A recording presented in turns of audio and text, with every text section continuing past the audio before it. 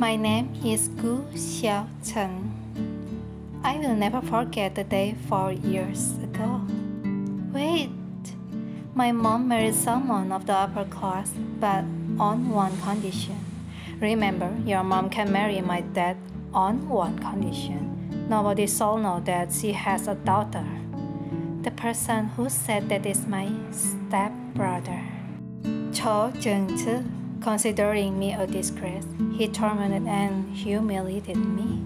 And then I met him. And he is Wu Heilian, president of Wu Xibeng, a despotic and overbearing playboy.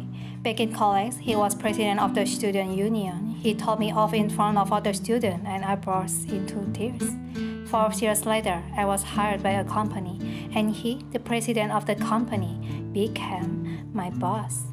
Work hard. Uh, I, I will. In Wu Xibeng, everyone knows Mr. Wu. If he say you are wrong, then you are wrong. Don't mess with him, or you will be as good as that.